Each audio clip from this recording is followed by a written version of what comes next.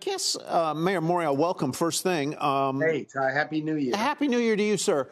I, I guess uh, people are saying this jobs report is disappointing because the total number of jobs added was less than half that what some economists expected. But you've got an awful lot of people who are just sitting this dance out, and the and among those who are looking for a job. Uh, you've got the unemployment rate back to basically where it was pre pandemic. So that doesn't sound like all that bad a report to me. Well, you know, Ty, it's so important because we discuss these reports every month as we've been doing so for years to look at every report in the context of a trend. This report uh, represents about a half a million jobs created on average for the last year. And it also brings us to almost 18 to 19 million jobs added since the pandemic began.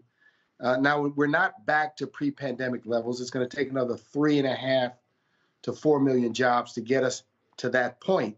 But it is so true that working moms, uh, younger workers, low wage workers have found other things to do uh, or have been unable because of childcare and transportation barriers to get back in the workforce. So, an increase in the minimum wage, investments as the president has proposed in the child tax credit and expansion of early childhood and child care, uh, I think would in fact help many of these workers uh, to return to the workforce. But you're right, when the unemployment rate is trending to where it is, uh, it's uh, a little bit disingenuous to call this a bad report, uh, but it also is important to understand the continuing challenges that mm-hmm. the economy faces. But half a million jobs a month and 18.8 million jobs created in the last year means that this recovery uh, has been much, much faster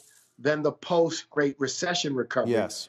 of a decade ago. And I think we've got to look at all of these reports in a long term context to understand it and also so that it can be a tool to help us uh, think about the future.